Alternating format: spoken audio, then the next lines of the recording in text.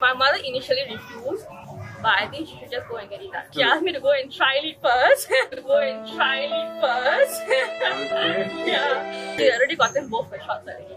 Tagging works. Uh, you know, we, we sometimes joke that that's why married men may live longer than single men. this is Prof. Lim, a medical doctor and a member of the expert committee on COVID 19 vaccination.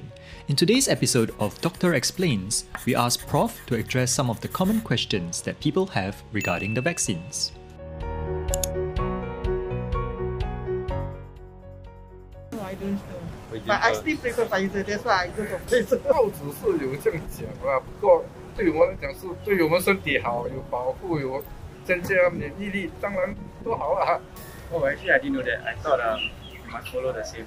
I mean, I would prefer to be with the same one since I took the Pfizer already. You can actually get a booster uh, with a different mRNA vaccine. The mixing and matching is really like Pfizer, Pfizer, Moderna, or Moderna, Moderna, Pfizer. Actually, based on what I read on the rules, Moderna is a bit more effective.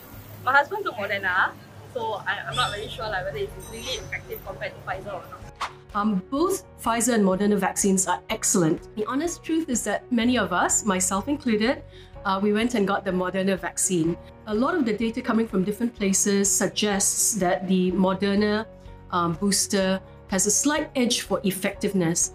So if you're over 60, uh, even over 50 like I am, you would actually feel that the, you need that extra edge when you're older. And I would actually tell, you know, elderly people, please go get the Moderna booster if you're okay with it.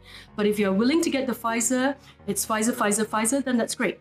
I did read that, I don't know, some news here and there that the Sinovac seems to be more effective against the Delta variant and all these kind of things. There isn't that much published about Sinovac and Delta, um, but you know, a lot of the countries that actually uh, rolled out their national vaccination programs with Sinovac, um, they're actually boosting with uh, mRNA vaccines now. Certainly, we think that the most effective vaccines against uh, Delta would actually be the mRNA vaccines.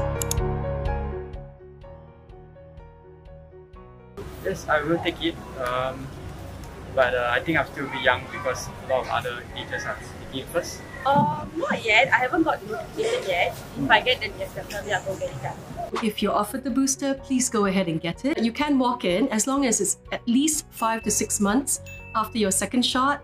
Um, you don't have to wait for the SMS.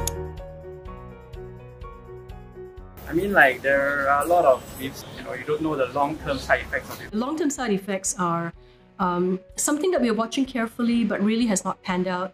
And if you look at all these vaccines that we've used over the years, you know, my travel clinic gives 20 or 30 vaccines, JE, rabies, yellow fever.